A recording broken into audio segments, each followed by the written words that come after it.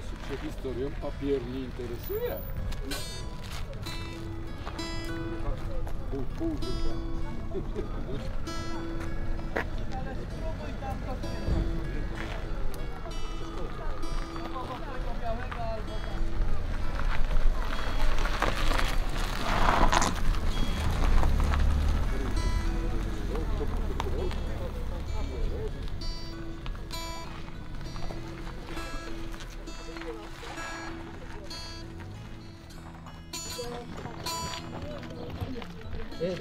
Państwo, może zaczniemy.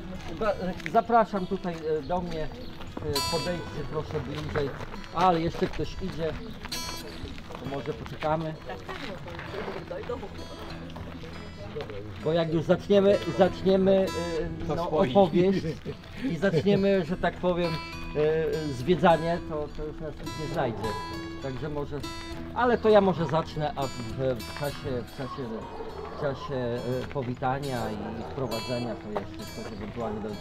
E, Drodzy Państwo, no, no, witam bardzo serdecznie w imieniu e, swoim i pracowników Muzeum Regionalnego w Chojnowie. No dzisiaj w takiej scenerii zupełnie nietypowej jak dla muzeum, bo to jesteśmy na placu e, jeszcze funkcjonującej pa, papierni, tak zwanej papierni, bo to już teraz nie do końca tak to z tego co już zdążyłem poznać trochę. E, Tą historię to nie do końca już tak mogę, mogę powiedzieć, ale, ale jest to taka nazwa, która gdzieś tutaj funkcjonuje. E, m, Drodzy Państwo, bardzo niezmiernie nam miło, że jesteście dzisiaj z nami i, i, i, zechcieliście spędzić z nami tutaj popołudnie niedzielne. Dla, nas, dla mnie to jest taki wyjątkowy czas, dlatego że razem z panem Michałem Zygmuntem realizujemy w naszym muzeum taki projekt usłyszeć przeszłość, dźwiękowy pejzaż e, Chojnowa, ale tutaj mm, e, zanim o, o, o projekcie powie, opowie nam Michał, natomiast ja opowiem, e, dlaczego my tu jesteśmy. Dlatego, że jakby misją każdego muzeum jest też ocalać od zapomnienia przeszłość. Ta przeszłość, którą tutaj widzimy, bo, bo w dużej mierze to, to, to, to, jest, to już należy do przeszłości, to jest, to jest nasza przeszłość i to jest zakład, który dawał e, w przeciągu dziesięcioleci e, pracę e, no, setkom, tysiącom ludzi i chciałbym, żebyśmy nie zapomnieli o właśnie o Dolpakarcie, o tej naszej papierni, która ma bardzo bogatą historię, bo sięga już okresu przedwojennego. Może nie wszyscy wiedzą, powiem, przed wojną w- to była największa fabryka papieru w Niemczech, w całych Niemczech. M, Papier stąd między innymi, od, e, między innymi odbierała fabryka Wedla i fabryka Wedla pakowała swoją czekoladę, swoje czekoladki właśnie e, w, w papier pochodzący z chojnowskiej fabryki papieru. Oprócz tego też no, produkowano papier czerpany, oprócz tego papier banknotowy. Także naprawdę bardzo ważna, bardzo ważna, bardzo ważna fabryka, jakich, e, jakich powstało tutaj wiele pod koniec XIX wieku wraz z powstaniem linii kolejowej, która łączyła najpierw e, z Chojnów z Bolesławcem, później z Dreznem, później z Berlinem. E, I w tym takim wyścigu technicznym, przemysłowym no, Chojnów wyprzedził bardzo mocno Złotoryję, e, która no, nie miała tego szczęścia być na tym szlaku e, kolejowym i, i przez to troszeczkę straciła na znaczeniu. Po wojnie również te zakłady część odbudowano i one służyły mieszkańcom.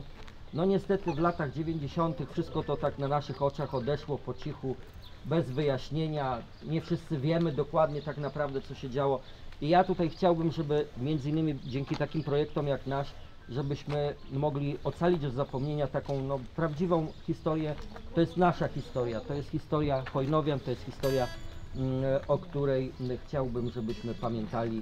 Yy, I, I zapraszam, oddaję głos teraz panu Michałowi Zygmuntowi, który nam opowie trochę o projekcie.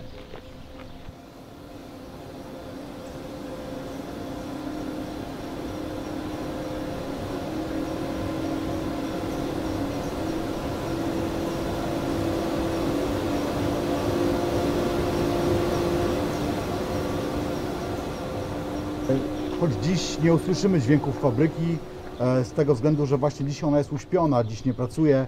Byliśmy tutaj przed kilkoma dniami i ten spacer w, momencie, kiedy te wszystkie urządzenia, te wszystkie maszyny pracują, e, no jest możliwe, żeby obejrzeć fabrykę, ale nic się nie usłyszy, bo ten hałas jest dosyć potężny. Dzisiaj będziemy mieli to szczęście, że no będzie cicho, może nie usłyszymy tych e, maszyn, ale usłyszymy niezwykłą opowieść człowieka, który spędził całe swoje zawodowe życie, e, albo przynajmniej większość e, e, w tej fabryce i może oddajmy już głos naszemu przewodnikowi.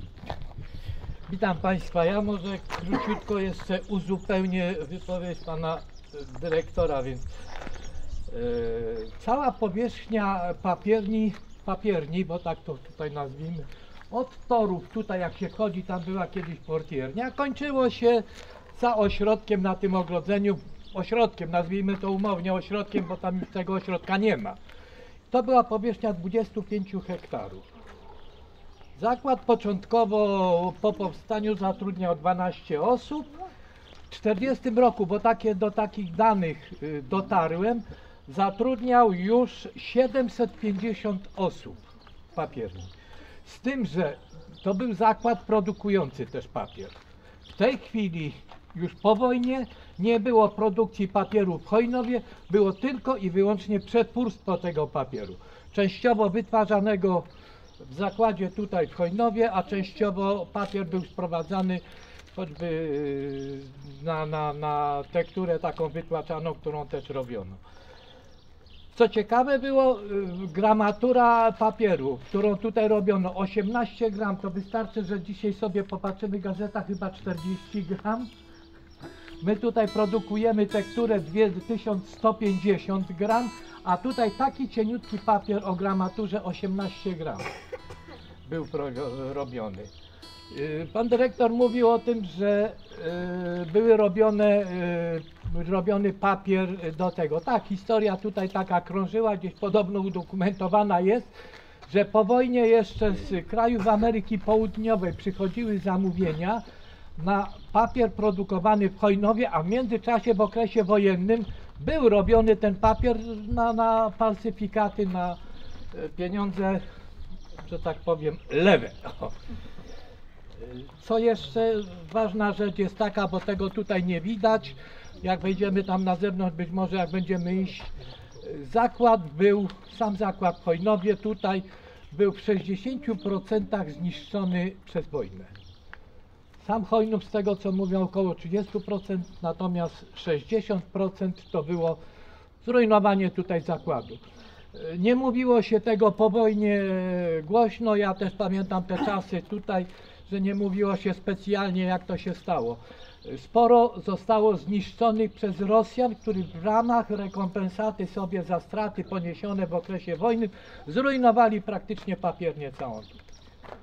O tym mówiono, ale to były takie czasy, że no o niektórych rzeczach nie można było mówić. Tutaj co nam zostało? Tu została zakład przetwórczy, tu jest kartonaż i to funkcjonuje dalej. Z boku jest tamten budynek kamienny firma Dolpap i budynek y, papierów powlekanych byłych, tam takie porozbijane te okna, nie funkcjonuje już od wielu lat, odkąd konkurencja z zachodu weszła z białymi papierami. Myśmy tutaj nie nadążali, po prostu nasze papiery nie były w stanie konkurować z zachodnimi stąd trzeba było ten wydział zamknąć. Były trzy wydziały, samoprzylepne i papiery y, dwuwarstwówka, trzywarstwowa i papiery powlekane.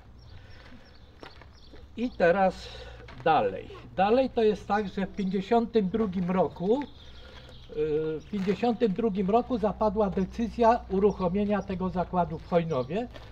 1 stycznia 53 roku ruszyła papiernia w Chojnowie, z tym, że mówię, już nie było produkcji papieru, było przetwórstwo, kilka maszyn, tektury palistej, pudeł, no i papier tam kredowany.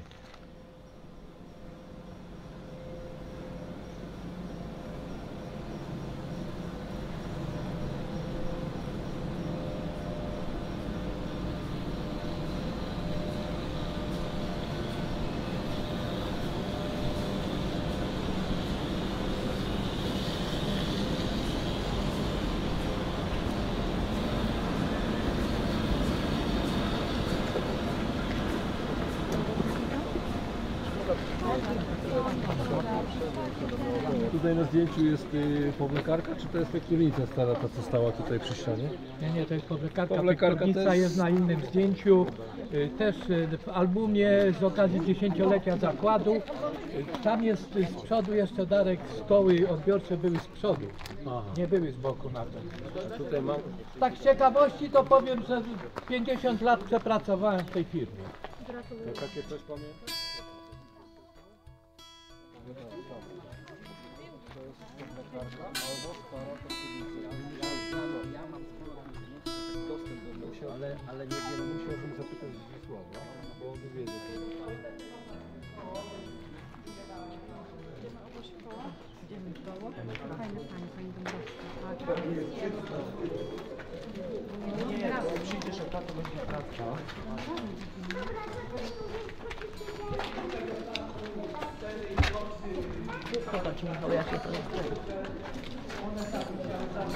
Głowę w przedszkole, stołówkę, plus do tego ogrzewanie hal produkcyjnych, no i przede wszystkim y, produkcję, bo, bo, bo para była potrzebna i do produkcji tektury, i do kuchni kleju, także na razie tylko ten jeden i on wystarcza.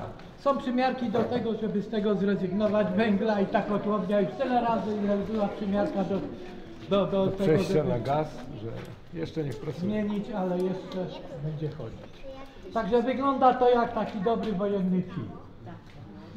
Yy, Na zewnątrz na pewno jest taka, jak może wyjdziemy, tam jest taka estakada i yy, przed wojną, po wojnie szlaka była wywożona tą estakadą, takimi wózkami górą, natomiast yy, węgiel był podawany tutaj z boku, czy miał węglowy, kubełkami wyciągany na samą górę do tych boksów.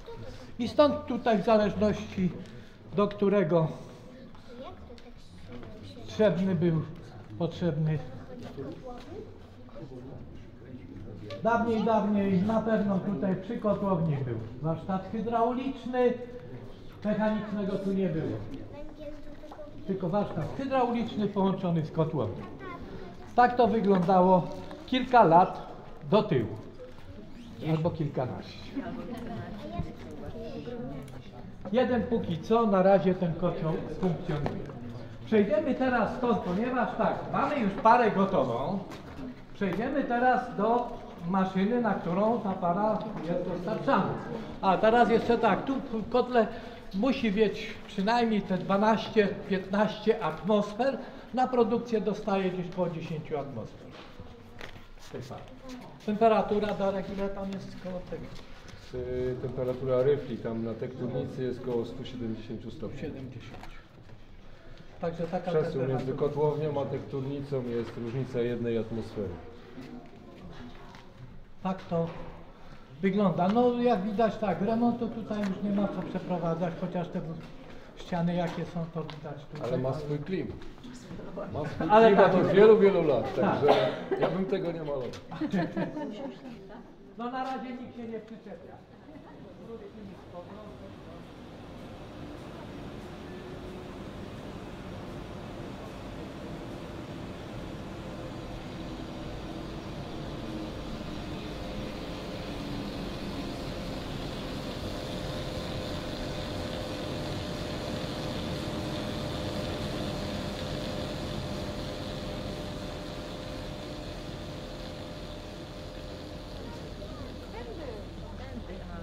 Tą stroną, tą stroną idziemy, nie? A dobry, baczony, ale Najlepsze to było No świniaka, a świniaka gdzie się piekło? Świniaka się piekło w na tym, na warsztacie. Na warsztacie, na warsztacie tak. Na Jest ciekawe. Tak. Świniaka barana to już był, no tradycja w którychś latach była. Że to był obowiązek, no to wchodził ktoś na emeryturę, to wiadomo, że baranek musiał być pół papiernika, jeden albo dwa. To takie święte. Chowało się.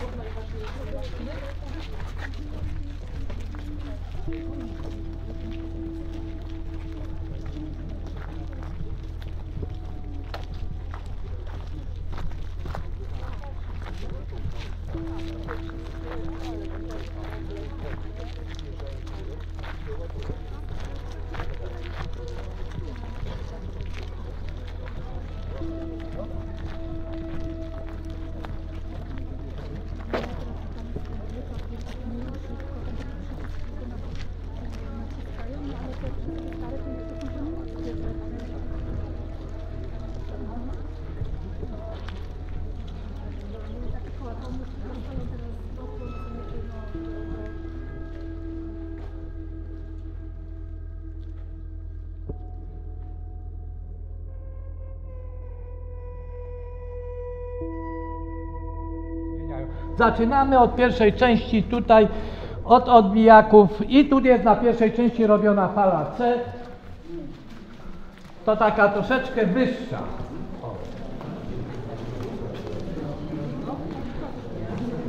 Cała rzecz polega na tym, żeby te trzy papiery skleić do kupy albo pięć, żeby wyszła tektura.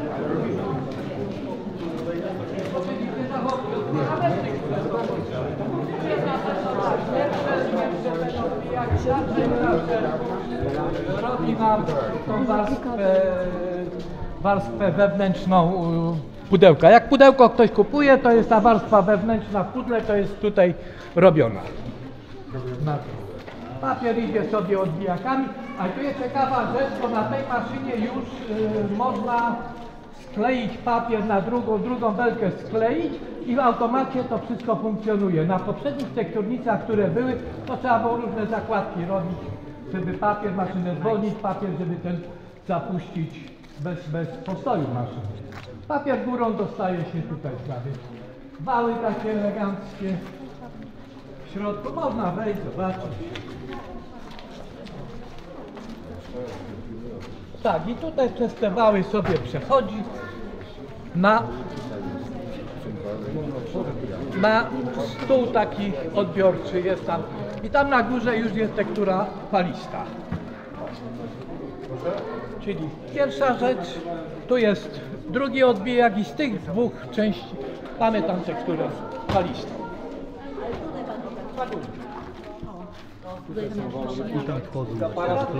falistą. Tutaj tak przychodzi. Tutaj to wszystko jest nagrzane, to ma temperaturę około 180 stopni. I tutaj jeden papier, drugi z tego odbijaka na warstwę pofalowaną, czyli tutaj wchodzi w ryflę, faluje ją i wychodzi z tego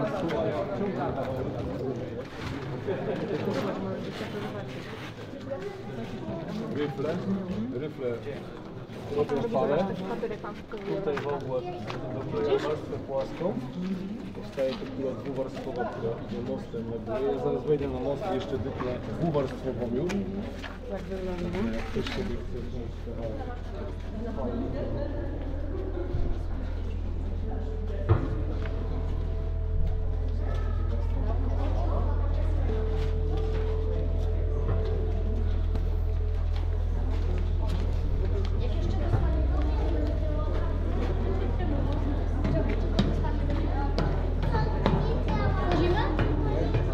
Maszyna szerokość 2,5 metra, jakby ktoś ma ten. 2,5 metra. Poprzednie tekturnice, które tam na innej hali stały, przed tą to były 200 i 1600 metrów to była pierwsza e, maszyna do produkcji tektury. I tutaj klejem to jest skrobia puknia z boku jest z To jest dwuwarstwowa, a to jest fala C. To jest jedna z wyższych fal, jakie produkujemy. Jest jeszcze fala A. Tam ryfle dodatkowo stoją, ale nie są zamontowane. Te fale C kawałek na. Jak nie robimy tej fali C, więc możemy robić drugą falę, falę B. I fala B to tutaj jest ta jedna część, druga jest tutaj po środku. I tu jest ta ciekawa rzecz, że można robić falę B, ale można również przestawiając wały, zrobić również tak zwaną tą mikropalkę. Czyli też jest tutaj możliwość zrobienia. Przestawienie wałów.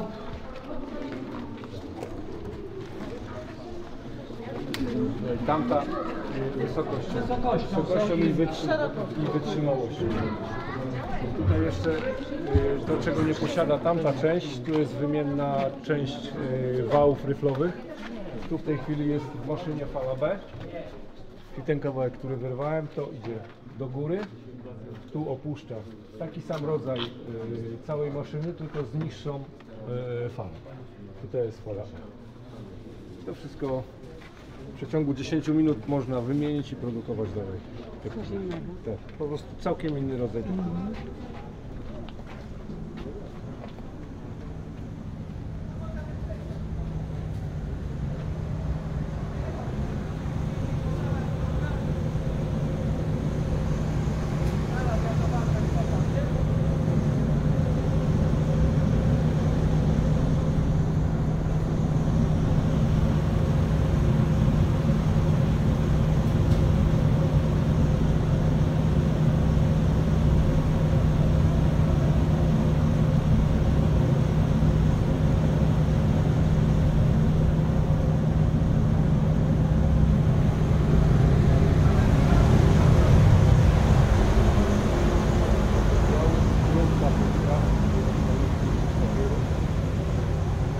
Tutaj e, część obie wstęgi przy produkcji pięciowarstwowej lub e, jedną ze wstęgów, w zależności od rodzaju fali.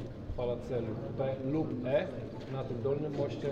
Te cylindry tutaj wszystkie, tu są trzy cylindry na tripleksie, one podgrzewają tekturę, żeby lepiej klej, który tam się znajduje, tam są wałny klejowe, żeby go lepiej przykleić później na stole suszącym, który no tak normalnie można nazwać żelazkiem, tak, bo on przyprasowuje i przykleja wszystkie papiery do siebie i to już później wychodzi jako, jako tektura 3 lub 5 warstwowa. Tak, na tej tutaj albo 3, albo 5.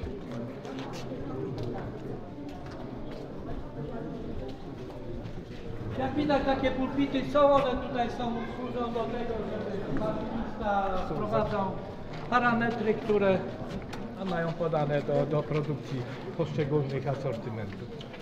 No włączone to tutaj. Obsługa tutaj trzyosobowa wystarczająco.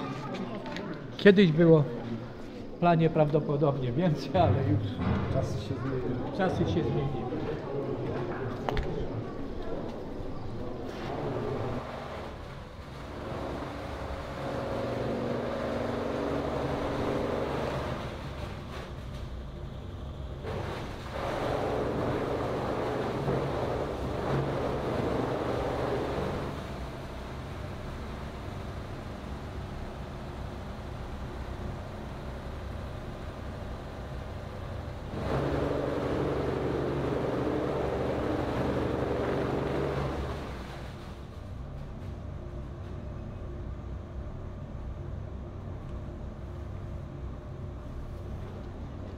Tak, i tutaj dalej dojechaliśmy z tekturą powiedzmy trzywarstwową do po stole piszącym.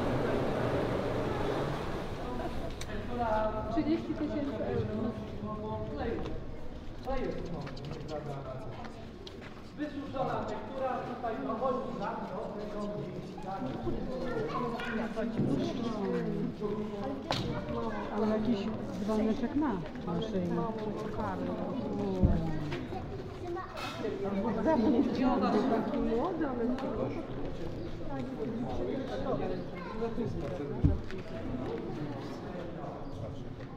Tektura już schodząc stamtąd dochodzi do tego miejsca, tu jest nóż wyrównujący tą teksturę, odpad spada do tego wózka i to jest takie jakby wstępne jakaś przygotowanie do dalszych, dalszego rozkroju tej wstęgi. Wstęga 2,5 równiutko wchodzi dalej i Dalej Darek? Dalej Darek, tak. No krótki, krótki, krótki nóż y, służy do zmian y, jakości, zmian długości. Tam, jeżeli są jakiekolwiek braki na nim są wycinane, tak żeby tektura, y, która nie jest sklejona lub jest źle sklejona, żeby nie szła na dalszą część maszyny, żeby po prostu nie pozabijała No bo będzie ani blokować. Noży, ani noży, ani przekrawaczy, żeby nie było przystojów na, podczas produkcji. Tak? I tutaj też w tym miejscu jest rozkrawana tektura przy zmianach szerokości i długości. Y, Dalej przechodząc po, po krótkim nożu, on jest krótkim nożem nazywany ze względu na to, że jest krótkie cięcie. Y, Dalej przechodzi na SRS-a i tutaj są y, dwie kasety, które mają po 6, tak, po 6 noży, y, czyli możemy produkować 6 szerokości lub 6 pasków tektury. Z tej, która idzie 2,5 metra, można ją rozciąć na 6 różnych. Arkuszy takich. 6 różnych arkuszy. W tej chwili tego nie widać, no to wiadomo, że przy produkcji to widać inaczej, można to bardziej uzmysłowić. W każdym bądź razie tektura na szerokość jest cięta na tej części maszyny. Z tym, że można tylko ustawić tutaj y, szerokości, to można tutaj pięć. Natomiast y, tych, tych, tych noży. Natomiast jeżeli chodzi o długość, tylko dwie. Długości.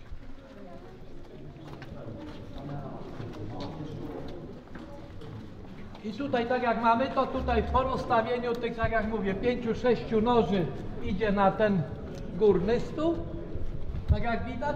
Natomiast ten jeden, nazwijmy go odpadek, idzie na dolny stół i stąd można tylko dwie długości ustawić. Tu może być inna długość, y, tam może być inna długość. Może być jeszcze jedna sytuacja taka, że niekoniecznie muszą być to jednakowe szerokości.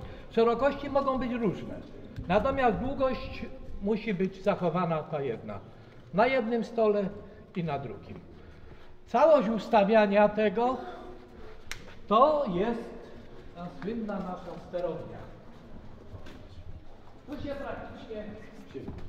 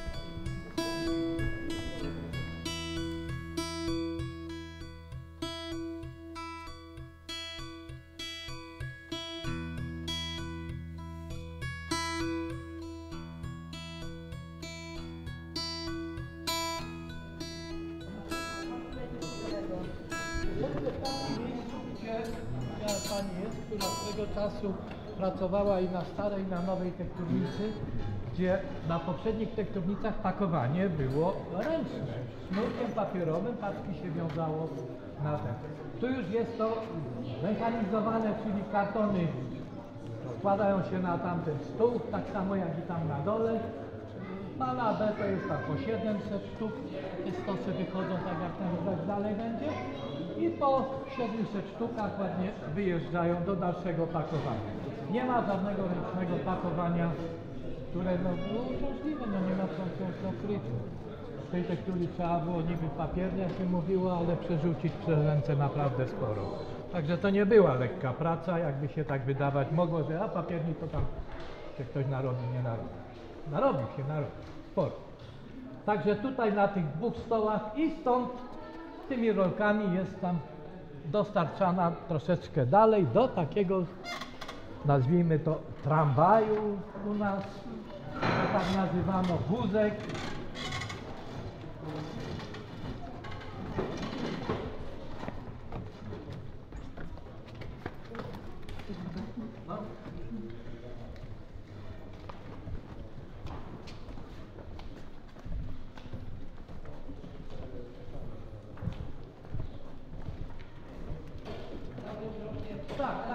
tam zamknąć. A tam kobelarki? Dobra. Czyli stosy jak są, są dostarczane tutaj na te rolki, tymi rolkami. Na ten tutaj, ruchamy to się nie da, ruchamy to jedna. I stąd dostarczany na taśmę, tą sobie taśmą, tu siedzi gość jeszcze, który na komputerze informacje, co robi z tego przewodnika produkcyjnego, co jest zrobione i właściwą etykietę do tego stos, tak jak tam było wiadomo, czyje to jest. Nie ma Y, Teraz tak, na pewno na tym małym stole jest taka jeszcze jedna różnica. Na małym stole nie można jakichś długich formatów powyżej tam chyba dwóch metrów puszczać, bo raz, że jest niewygodnie y, obracać się, a dwa, one się tam nie bardzo mieszczą, czyli chyba około 3 metrów z groszami najdłuższa tektura jest tutaj robiona. No i to jest ta jedna część. Natomiast zbliżamy się do rzeczy, którą niektórzy pamiętają, jeżeli wycieczką albo, albo, albo ze szkoły, czy w ogóle jak pracowali. Tu stała poprzednia tekturnica, która została zakupiona w czasach bardzo dobrej koniunktury w 1972 roku z firmy Martel. Z tej firmy akurat za czasów dyrektora Gabrona kupiono tekturnicę 2 metry 100 i kupiono cały zestaw wyposażenie do tego maszyn przetwórczych, które notabene jeszcze tam część z nich funkcjonuje. Nowych maszyn przetwórczych tam jest, ale one już na pewno nie są w stanie tego zrobić, co te maszyny w 1972 roku. To była naprawdę bardzo udana inwestycja w tym czasie. Tamta tekturnica, a była fala B i fala C. Stała tutaj, gdzie y, te kartony tutaj stoją. Tutaj była słynna kuchnia kleju. Y, kuchnia kleju, także klej robiliśmy sami we własnym zakresie, składki wymieni, czyli skrobia, borak, soda.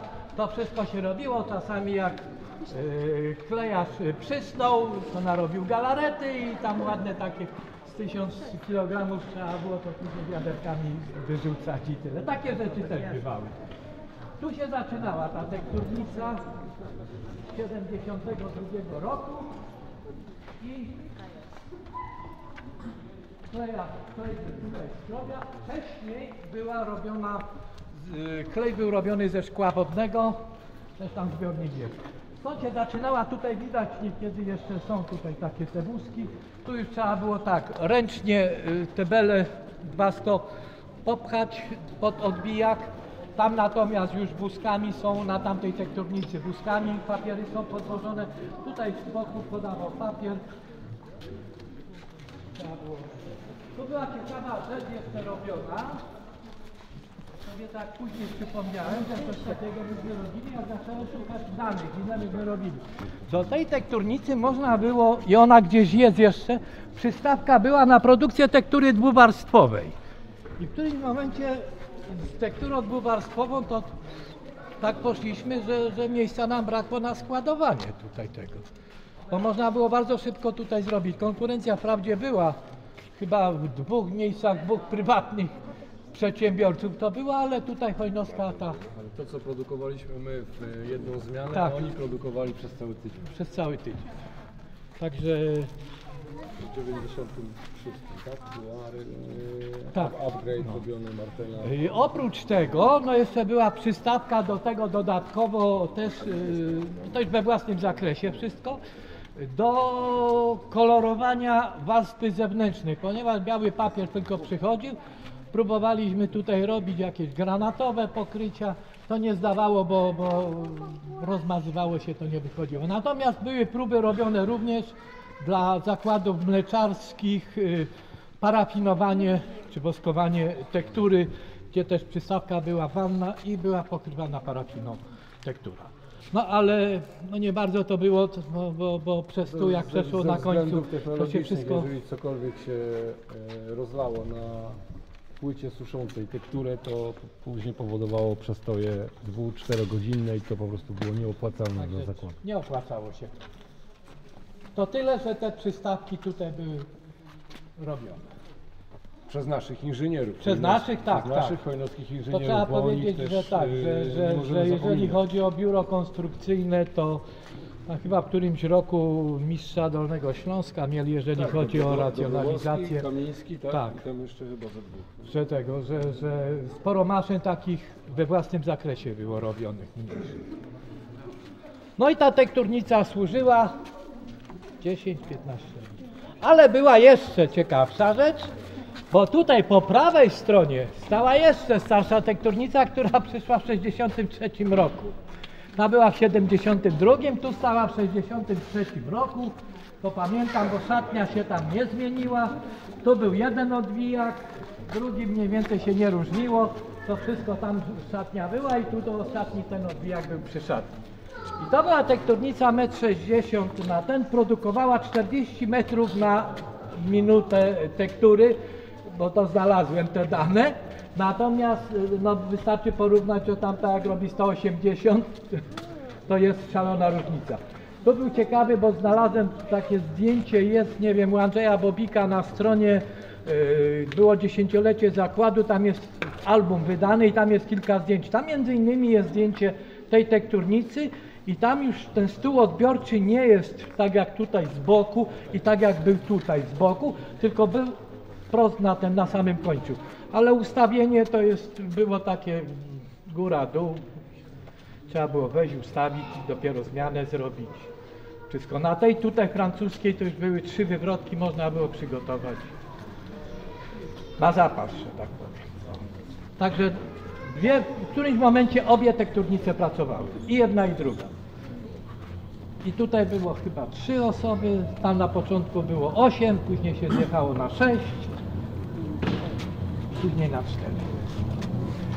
Także tak to wygląda z tekturnicami.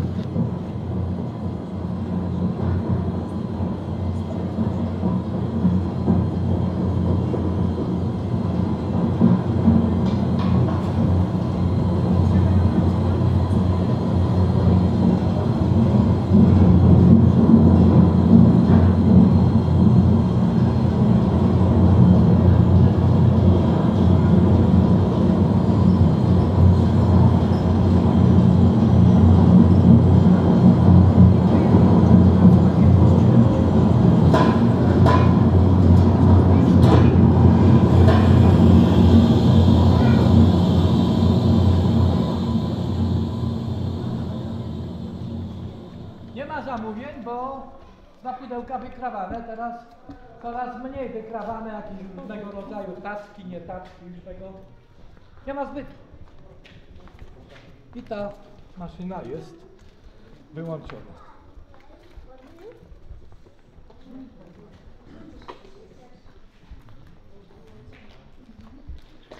Tu w różnych latach na tej hali próbowano różne rzeczy ustawiać.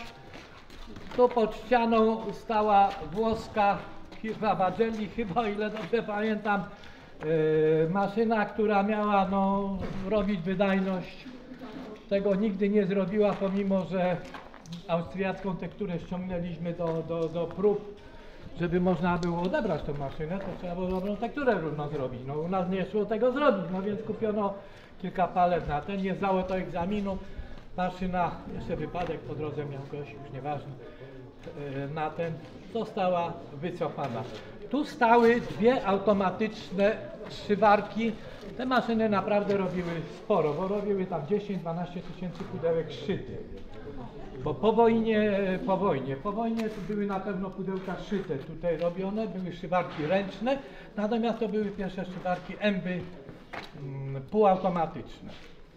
Do tego były te, która wycinana tak jak tutaj i można było robić pudełka szyte. Były dwieęby słynne jakoś. I teęby też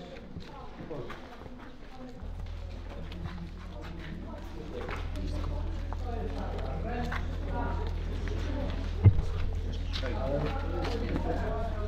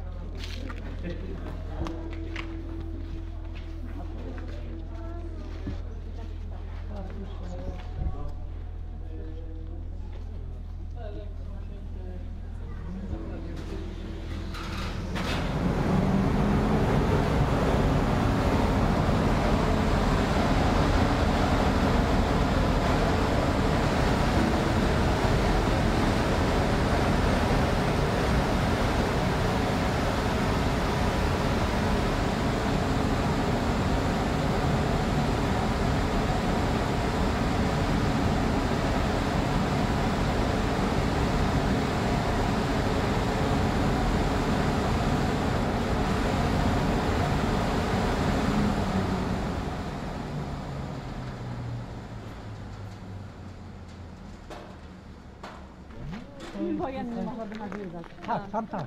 Tam jest trakt wejść. Tutaj schody przecież, y, poręcze po, po, pokradzione są na ten. Tutaj był tak, y, na samej górze y, była papiery podgumowane, czyli taśma na, na kleju kostnym. Środkowa część tam to były powlekarka angielska. Tutaj pani laboratorium miała, y, klisze były robione i drukarnia była zakładowa. Jeżeli moglibyśmy coś o angielskiej powiedzieć, to no, z maszyny angielskiej, na maszynie angielskiej produkowano papier, z którego był, na którym był drukowany kraj rad. E, to jeszcze była lepsza rzecz, ro- produkowana e, krakowskie zakłady e, papiernicze, nie Karty do gry. karty do gry. Na tym papierze były robione i tak od czasu do czasu. Był to jedyny zakład w RWPG, który produkował papier kredowany. No, ale Jako pierwsi produkowaliśmy papier do kserokopiarek. W Polsce jeszcze nie było kserokopiarek, a powlekane już robiło to niebo papier. Później niestety International Paper Fizzle przejął wszystko tak. i dlatego to stoi tak stoi. stoimy i patrzymy, to jest taki ładny mostek jest to na tym. Bungier.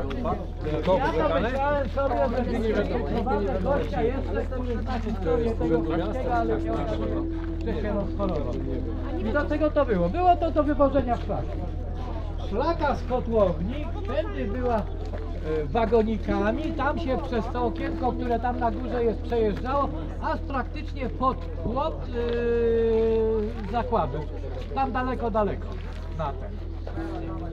Szlaka. Czy wczoraj, w czasie tej wycieczki ja nie słyszałam. Dlaczego y, komin jeden jest krótszy? To został rozebrany już za czasów do takartu, bo on się sypał. Na górze cegła już y, kruszała, już była tak, że mogło być niebezpiecznie. Zresztą tam chyba nawet nie wiem, czy na tym, czy na drugim, tam też y, te obręcze są już też popękane. Tak grzmoty to regularnie.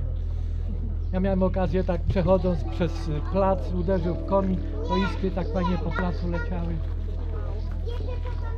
Tak, tutaj była jeszcze jedna rzecz. Tutaj był budynek, y, gdzie robiono o, klej kiedyś. Klej był ze szkła wodnego w autoklawach. Dwa autoklawy były tutaj y, pod ziemią. Y, Klej był robiony i na starą tekturnicę, częściowo na początku na, na nową, plus na tamten wydział rurociągami na papiery yy, dwuwarstwowe, bo dwuwarstwówka była tam robiona na, na falistej. Za czasów falistej tam też pracowałem. To były trzy maszyny, takie 1,60 m yy, na falistą. Były dwie maszyny, które robiły takie wytłaczanki yy, na słoiki, jak, jak, jak się kiedyś pakowało po trzy czy po cztery słoiki, takie były owijane papierem. Yy, Tam stąd między innymi ten papier był robiony. A później już historia cała to już jest papiery samoprzylepne, taśma samoprzylepna i niestety nie doszło do skutku, nie było pieniędzy na to, żeby uruchomić wydział. E, Tutaj pan Kozakowski dużo się starał, ale nic z tego nie wyszło z materiałami higienicznymi. Tak to wyglądało. Jednorazowe prześcieradła i cała galanteria gastronomiczna miała być robiona.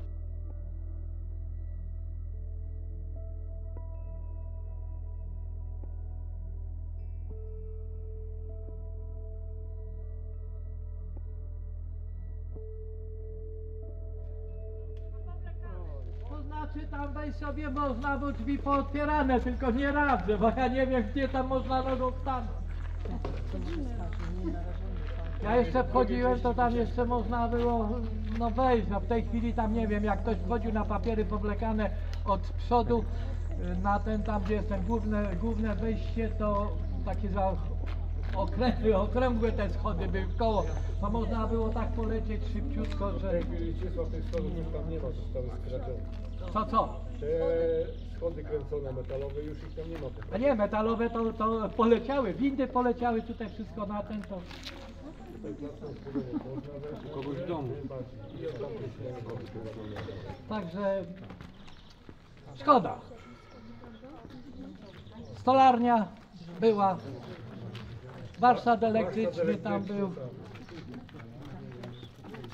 Tamten duży budynek, y, firma następna, tam były wszystkie magazyny podręczne, czyli części zamienne, ubrania, te wszystkie inne historie, to ten duży budynek. Y, Stołówka to wiadomo gdzie była, jak się wchodzi, nowa firma tam jest, zaraz przy wejściu do zakładu Komerc. No i tutaj, gdzie portiernia, to, to przegląd samochodów, tak, warsztat mechaniczny. Ze sklepu chyba spożywczego został te rybki tam, Rybka, tak? tak? Rybka No. jest ze sklepu spożywczego. Po sklep spożywczy. Mało tego, tutaj kiedyś z normalne jest sklepiki były na wydziale, na jednym, tutaj na drugim można było zaopatrzenie, tutaj było na miejscu. Tak. Piwa nie można było. Ale, ale do śniadania. Były. Co dalej? Tam gdzie pan Kryszczuk ma zakład swój, kiedyś, kiedyś tylko malutka hala była taka wiata, coś w rodzaju jak nie było miejsca na składowanie, to w tej chwili no ściany powstawiał, przebudował, dobudował i no firma widać jak się kręci. To z tych starych. O ośrodku wypoczynkowym mówił nie będę, bo to każdy już chociaż raz tam w życiu przeszedł, widział. Ja tylko mogę powiedzieć, że, że, że prawie pół roku straciłem tam niepotrzebnie czas, bo, bo zajmowałem się dozorem tego, budowy tego wszystkiego. Chcieliśmy do czwartej Spartakiady ogólnopolskiej oddać go do końca tak pod kluczyk, no nie udało się. przychodził i robił. Pan dyrektor Gawi. A pan dyrektor Gawin, słynne sianie trawy było. Fakt, że trawę posiał tak jak należy, bo, bo płyta była w tym momencie odpowiednio konserwowana i to była jedna z najlepszych płyt w ogóle w Polsce. Tutaj dlatego, że y, pracownicy Akademii Rolniczej zabierali gatunki traw do, do tego, do podłoża. Także, bo ostatnio jak byłem, to już ładnych parę lat wcześniej nie byłem, bo tak trochę żal jest. No Drodzy tak, Państwo, myślę, że y, no, historia, jak widzicie, potrafi być żywa, wspomnienia potrafią być żywe. Podziękujmy brawami naszemu, na- naszemu przewodnikowi.